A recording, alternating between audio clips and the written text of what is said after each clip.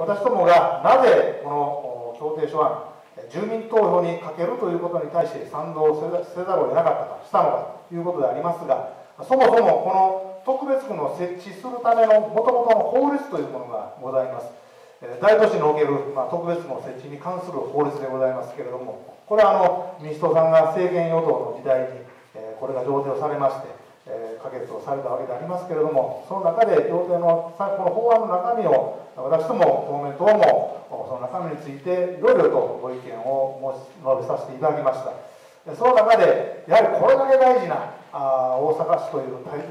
大都市のこの命運をかけるようなこのような決定を議会だけで決めるのはいかがかということでわざわざこの条項を住民投票の条項を入れさせていただいたということがございますですから最終的にはやはり住民投票を完全に否定することは私どもはなかなかいたしかねるということが1点ございます。そしてもう一つは現実に今もそうでありますけれども反対派賛成派まあ、派というふうに言っていいのかどうか分かりませんけども、この大阪市民の皆さんの世論が現実にこの二分されているような状況を見たときにですね、やはり議会でこれを反対の方が多いですから、これをこのままあある意味ではもう黙殺するといいますか、これ封じ込めるということ、これが果たして妥当かどうか、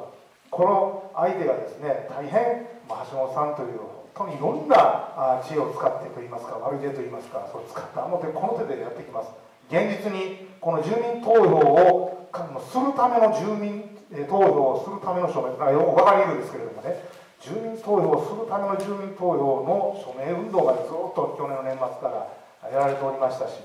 また現実に議会の閉会中にこの住民投票のですねこの案をですね市長の勝手なこの先決事項という先決権というのがあるんですけれどもこれを使って無理やり住民投票やるかもわからない。こういったことも懸念がされておりました、